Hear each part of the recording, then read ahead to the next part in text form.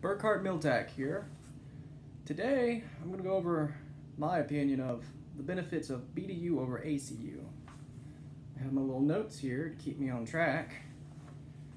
In the background here, I have A-TACS FG BDU shirt by Propper, and the same by Propper, but an ACU. Now, benefit one, it's more cost effective.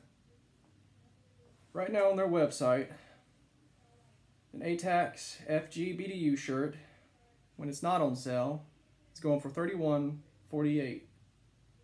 Sadly, FG has been retired.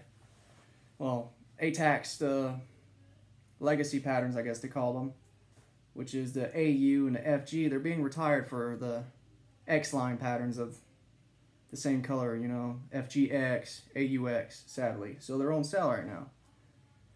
But before sale, you know, 3148 on the website for that one. BDU cut. ACU cut. 59.99 if it wasn't on sale. Second, same material. Both of these are made out of the same material. Just the difference is this one's cut ACU, that one's BDU cut.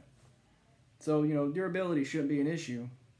Same material, 6535, Polyco. That's my son. My favorite thing about the BDU is there's no big swatch of Velcro on the on the shoulders, on the arms. You don't have to worry about little or any of that, or it getting dirty and not working, or just wearing out and then you know you got flaps flapping like this you know now the service record from my research for the BDU they started getting phased in in 81 and started getting phased out in 05 so you know the cut has been proven yeah you got chest pockets and waist pockets on it and now everyone's have the the vests and all that now, you know. But if you can run with a Alice belt web gear and keep everything on your waist or whatever, you know. I mean, most I I've never put put anything in the pockets really. I use this stuff for hiking and camping, and I really don't carry things in them. Uh, my BDU pants do fine for that. the markets are saturated with BDU, used and new BDU, floating everywhere. You can find them in Army, Navy stores. You can find them online everywhere, and it's in ACU isn't as prevalent.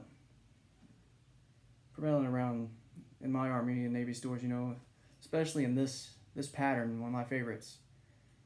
Um, let's see. In most cases, you can find them in more current patterns, you know, not just the M81 or the DCU uh, tricolor desert or or the coffee, or no, not coffee stain, but the chocolate chip six color, you know. Uh, I, you can pretty much find them in more current patterns. Uh, now, I will say that I haven't been able to find multicam in the BDU cut. I found one, but it was 100% cotton, and I don't really go towards that type of blend and whenever I'm out hiking or anything, you know cotton is rotten and not good when it's wet or any of that. And I just find, you know, it's just not as durable. Let's see. No, no. Well, one thing I do like about the ACU though is is the zipper. That zipper, you know, quick up down. You know, you can take it off, put it back on quickly instead of having to, you know, fumble with buttons or whatnot, or worry about me, I'm always pulling buttons off. I guess I'm just too tight or whatever.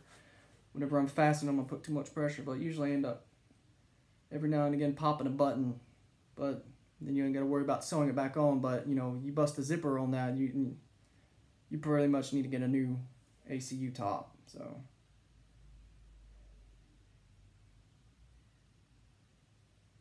And that looks about it. See if I could think of anything else. Cover the Velcro.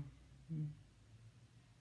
That, that's it. Uh, that's that's what I think about the benefits of a BDU over ACU. I mean, they're cost effective. I mean, I guess most people are going to be running this stuff in airsoft or whatever. I don't really see people getting into firefights who are not in the military. You know, you, you, especially FG, you're not going to get this stuff in the mil- military or whatever.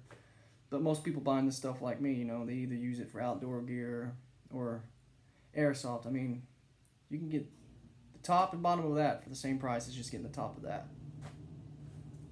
Just my two bits on the subject. Oh, signing off.